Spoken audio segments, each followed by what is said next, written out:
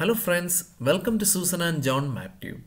So we are still learning the application of complex integration to evaluate real integrals. And we learned type 1. I hope you watched all the four videos because in every video I did a different question. The method is very lengthy so practice a lot of questions similar to the questions that we did in the videos. Now let's quickly move on to type 2. If you watched all the four videos, now you'll find type 2 very easy because it's like connected with type 1. So can you see it's an improper integral minus infinity to infinity. You can even see polynomial divided by polynomial. Can you see polynomial by polynomial? But it will be multiplied by sine or it will be multiplied by cos. Anyway, the condition for convergence is, I told you, we cannot evaluate any improper integral, there will be some conditions. m should be a positive number, degree of the denominator is bigger than degree of the numerator, and the denominator should never ever become 0. In type 1, I kept on telling a name that is Cauchy's lemma. Similarly, here we will use Jordan's lemma. So basically, uh, the contour will be the same. We will consider the same circle which can be extended to minus infinity to infinity and C plus means C means the whole stuff. This is minus R to R and C plus. And C plus is the part of the circle which is above the x-axis. So same contour and we take R tend to infinity.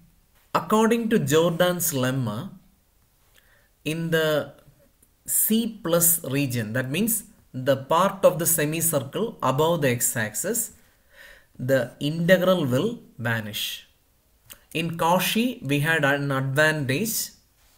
It will vanish in the above and it will vanish in the small circles in the x-axis. Anyway, let's try one question. But before we start, make sure you understand this part. What is e power i theta?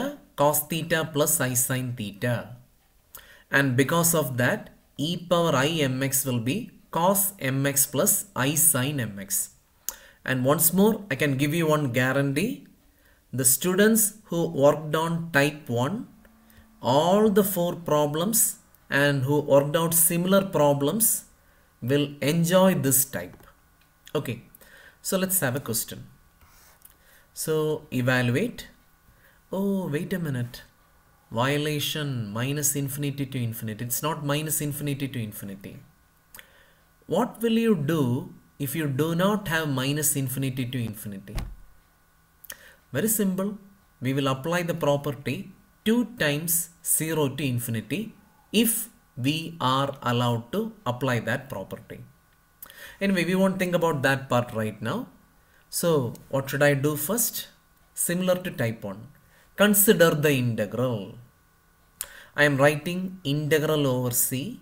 I am replacing every x with the letter z and I am creating my own contour and the contour will be the x-axis from minus r to r and the part of the circle mod z equal to r.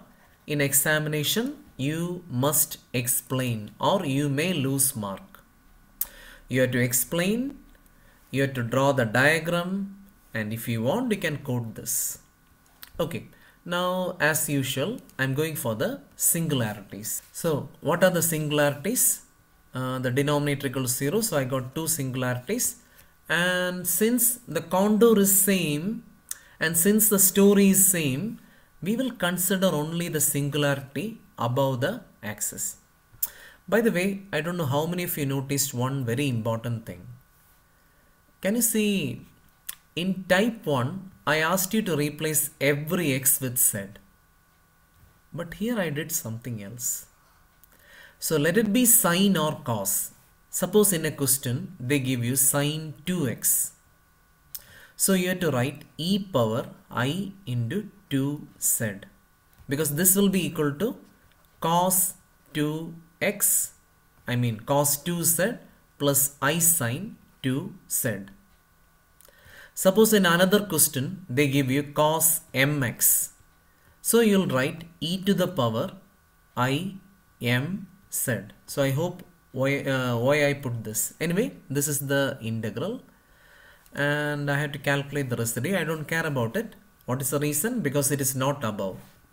So r is equal to limit z tends to ia z minus ia z into e power i z divided by I hope you saw the question z into e power i z z minus ia into z plus ia.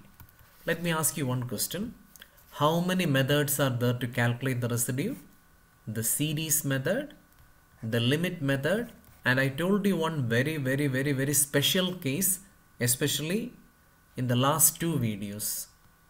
If you have polynomial by polynomial, no, this is not polynomial by polynomial, so I don't care.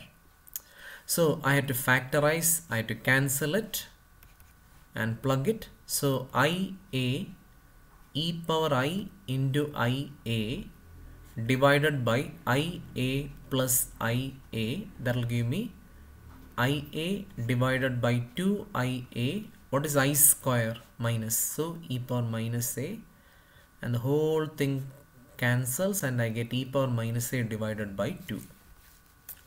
So the answer to the integral that I created, not the question. I created an integral z e power i z divided by z square plus a square has a value. How you find the value of the integral? According to Cauchy, it will be 2 pi i multiplied by sum of the residues inside or on the contour. And here all the singularities are above so it's going to get multiplied by this and integral over c z e power i z divided by z square plus a square equal to i pi e power minus a. Now look at this. Now what I'm going to do is uh, if you want you can convert it into cos and sine now itself um, but now what I'm going to do is I'm going to tell oh my contour is from minus r to r and c plus so I can write this integral as minus r to r uh, not the same stuff it will be real because it's the real axis plus integral over c plus. C plus means the part above the axis is equal to i pi e power minus a. Now look at this. The only difference in type 1 and type 2 is you're going to apply something called Jordan's lemma. And just like I recommended you to copy the statement of Cauchy's lemma in the other videos, here in type 2 in examination you have to quote Jordan's lemma. And because of Jordan's lemma, this part will vanish. So according to Jordan's lemma, uh, I showed you over here function multiplied by this exponential part will become 0 when r tends to infinity. So when r tends to infinity according to Jordan's lemma this will vanish and when r tends to infinity this will become minus infinity to infinity. So what I found is minus infinity to infinity x e to the power ix divided by x square plus a square dx is equal to i pi e power minus a. Don't be very happy. Don't be very happy because this is not the question that they asked me to solve. Look, did they ask me to solve this? No. They asked me to solve something with sine or cos. It's not a big deal. What is e power i theta? So in the next line, I'm going to write this as integral minus infinity to infinity x multiplied by cos x plus i sine x divided by x square plus a square is equal to i pi e power minus a and that will be now you can take this inside and you can split it um, that's easy to understand you think about it for a minute you'll understand so it will be like x cos x divided by x square plus a square plus i x sin x divided by x square plus a square. If you want, I'll give a small explanation. a into b plus c is ab plus ac divided by d will be a by db, a by dc. Okay. Um, I'll put dx, I'll split the integral. I'll put dx here and this will be 0 plus. Can you see a complex number here? If I say 7i is a complex number, what I mean is it is 0 plus 7i. When I say 3 is a complex number, what I mean is 3 plus 0i. So this is a complex number. Now can you see? In examination, if they ask this, the value of this integral will be 0. But here in this question, they asked you to find this value. So the value will be pi e power minus a.